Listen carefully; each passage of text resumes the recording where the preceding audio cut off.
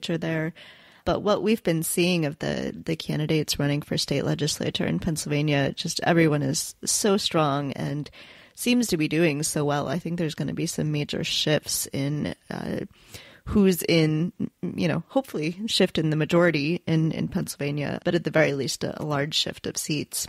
Absolutely. I mean, we have 203 seats, only 80, only 83 of them are Democratic. So that means obviously when you're when you're looking to try to get legislation pushed forward, it's a it's a tough haul there, and being and and and and it's it's a very uh, narrow needle to thread to be able to find currently in the current climate individuals across the aisle that might be willing to join you on that. And so being able to, you know, we we we've seen numbers that say there's comfortably 15, 16 seats out there that they believe are on path to flip, and upwards of of 18 to 20 seats that are currently having to fight. And when we have the current Speaker Turzai that is evidently out there knocking doors for the first time and I don't know how long right now because they're aware. Uh, they're aware that nothing can be taken for granted right now, and there are a lot of people on both sides that are either frustrated with what the Republican Party has has has become or inspired by a lot of the new Democratic leaders that are moving forward to try to, to and, and that aren't afraid uh, of pu- pushing forward a bold progressive agenda, and and which I think is you know we, we've run away from this in the past, and I think we've learned our lesson that that, that it's necessary to go big or go home, and, and and from what I've seen, nobody's going home. So you already had a lot of uh, great endorsements, Planned Parenthood and Flippable and Mom's Demand, and today you got another huge endorsement uh, from Barack yes. Obama. So congratulations on that. That's super exciting. Very exciting. Can you talk a little bit about what what endorsements in general, but what especially an endorsement like that means to your campaign? Visibility is the it's it's the target right now. Being able to to gain name name recognition out there, knowing that I'm not a person that. The, the good news is I haven't been running for, uh, haven't been in politics for for you know 10 to 12 years. The bad news is I haven't been running for 10 to 12 years. So I have I have a you know a gap to bridge there and and making sure that people are aware one that there's somebody running in this race. It's been uh, it's been a number of years since there's been a you know a, a high profile race, an aggressive ground campaign uh, that made people realize that they had a strong, viable option. And so these kinds of endorsements, and particularly from President Obama, go a really long way in suddenly allowing uh, outside individuals to start paying attention. And, and we're in that part of the game right now where it is, for me, first and foremost, about getting out to meet voters. And uh, a lot of that does equate into money and also volunteerism, getting people that might want to come out Maybe they're in a neighboring district. Maybe they're in New York and they are just excited about seeing their their sister purple state Pennsylvania flip blue again. So being able to to shine a spotlight on a race that they realize is on its way to being flipped to try to help push that over by getting out, by phone banking, by by by helping us with texting or or just being able to contribute to the campaign at any level possible, which means if we want to do some mailings out there to, to battle the, the, the amount of money that's going to be hemorrhaging against our campaign, that we have now new resources coming in to make that possible. And is there anything else that you wanted to make sure we talk about? I think what's really important, and one of the reasons that I'm running, and one of the things that I think is being effective uh, in talking about the campaign has to do with transparency. It has to do with access to our elected officials. It's reminding people that ultimately these roles are your employees, that you are the boss, and you have the right to understand first and foremost what the job is, what it should be. Uh, it's not just you know it's not just about showing up for community events. It's not just it's not it's not just constituent services, although that is a huge part and something that we very much uh, very much also value. But there are there are important there's an important role at the statewide level that can be filled in these roles, particularly with changes that are happening nationally right now, particularly with these you know, potential appointments of, of justices like Kavanaugh that can that can affect uh, the environment, that can affect individual liberties, that can affect women's rights, that can affect um, uh, voting rights uh, and health care, and that we can do things uh, at the statewide level, and people need to know where their current incumbents have voted and whether it be very extreme positions on women's rights, as is, is the case with uh, Representative Murt, that, that, that has been on record in saying that his belief uh, is under, with no exception, does he believe that a, abortion should be allowed to having the courage to step forward and, and, and be aggressive with making some common sense uh, changes uh, in our, our gun legislature. That we're putting the message. We have these report cards that we created to let people know the difference, where we stand, where we where we agree. It's not these aren't hatchet jobs, and where we can do better. And, and, and again, it's all about access and transparency. And I think making sure that that people are are asking the necessary questions, and if at the end of the day those questions are answered in a way that says I believe we should reelect the, the current incumbent, at least people are informed, and that's the most important thing. I, I think going into this election is just being informed. Absolutely. So, if our listeners would like to help out your campaign, how can they do that?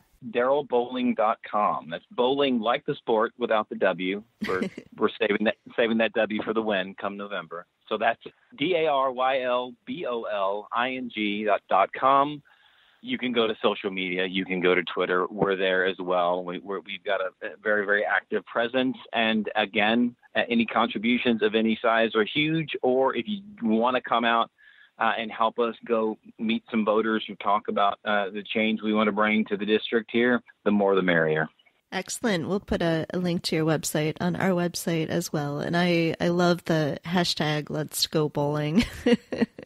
absolutely. Absolutely. All right. Well, Daryl, thank you so much uh, for taking time to, to talk to me today. I know you've My got pleasure. a busy campaign and three little kids, so I appreciate sure. the time. Thank you.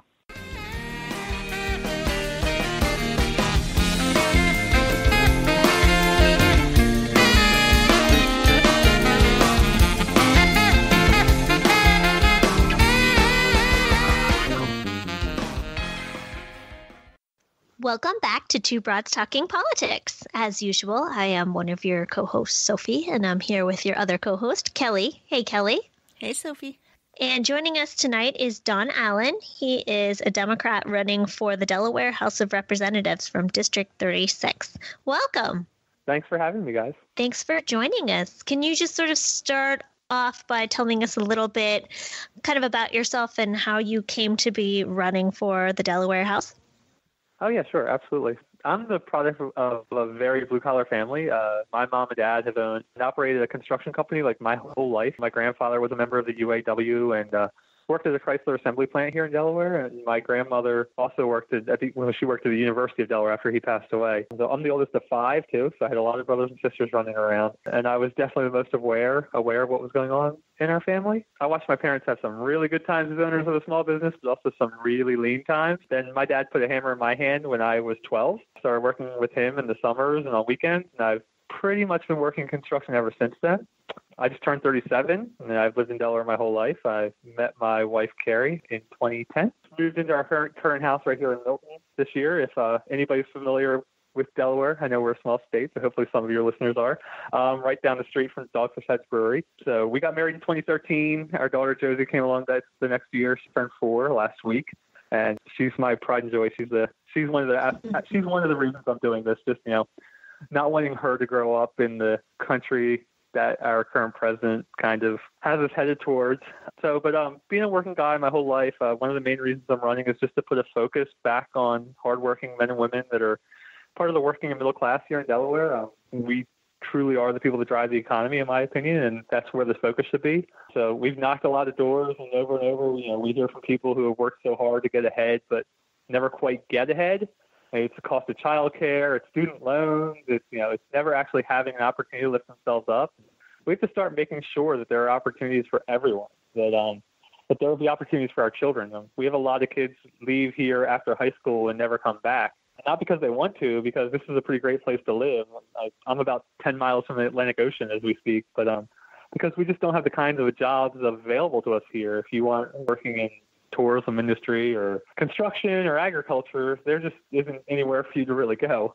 So I tend to think of Delaware as a very democratic place. It's got democratic senators and uh, the one at-large House seat is uh, Democrat. It's of course where Joe Biden was from. But you're the seat that you are running for right now is currently held by a Republican, and he's been in office since I think the beginning of 2011. So, what Mhm. is this district like? Uh, you know, is Yep. it kind of purplish? Is it more or less Republican? What does that look like? So I live in Sussex County, which is the southernmost county of Delaware. We only have three of them. Uh, they're pretty much northern half, northern portion of Delaware, central portion of Delaware, and the southern part. And the southern portion of Delaware has been very red recently. My district in particular, the current representative is retired, so this is an open seat that I'm running for. But it has Democrats have the registration edge, but it's been going red lately. It went pretty pretty handily for Trump um, this past election. But we're also on the East Coast, and we've kind of become a hub for retirees. So the district's also changing a lot. It was mainly agricultural, but with the retirees coming in and the healthcare industry that comes trans kind of comes along with that, it's uh, it's pretty quickly changing. Um, we have pretty low property taxes, and the draw that our beach towns hold for everybody is, um, if you're at all familiar with it, Rehoboth Beach or the nation's summer capital, as we call it, we're a prime vacation spot for people to live in DC. That's really drawing a lot of people to the area, and with that comes a lot of stress on our infrastructure, stress on our healthcare systems. Our highways are overcrowded, and most doctors have ridiculously long waiting lists. And we also have a real problem with the quality of drinking water. As I said, like we're historically an agricultural district, and we're not anymore. At least we're quickly moving away from that. And due to the past issues we've had with that and some current industrial abuses, sadly, a huge portion of my district is having problems with drinking water. So, so a lot of issues here that we have to pay attention to that's starting to draw a lot of attention that's bringing change to a lot of people's minds. You mentioned coming from a working class background and being sort of a blue collar guy yourself. And a lot of, if not most of, the people who run for higher office in this country are not blue collar folks. I'm wondering if you could I was wondering if you could talk a little bit about sort of what that background adds to your campaign and sort of how that can really help you make decisions eh, as part of the Delaware House. Yeah, I mean, so working in construction pretty much my whole life, like I get why people voted for the current president. I don't, you know, obviously I don't agree with it, but I get it. Like I completely agree that our, our economy is kind of rigged against the middle class, against working class. I, I'm hanging out with construction workers every day, and I, I get it. They don't feel that they have a fair shot. They uh, they feel like corporations are dominating our country to the point that it's hard for the average man or woman to feel like they can get ahead, that they can you know, buy their home, support their children, take a vacation now and then, uh, eventually save enough to retire. Um, I hear from guys on the construction site every day. We have to work to even the playing field. We have to make sure that the middle class is respected and not walked all over. We have to work to raise wages for those that are making minimum wage up to those that are in the middle class. We have to close the income gap in this country because right now it's it's already at an un- unsustainable point and it's still growing. Um, and that's how we win. We we win by going door to door. You know, not in a district that I need probably 3,500 votes to win. We're closing in on 6,000 doors now. And we go door to door and we talk about those values and we listen to the issues that are facing our neighbors. And calling me naive, you know, maybe I'm idealistic, but I firmly believe that people will vote for a candidate that listens to them, that shares their experiences, that that cares about them. I'm on my third pair of canvassing shoes, so we've walked the walk, kind of so to speak, and uh, we're putting in the work to win this thing.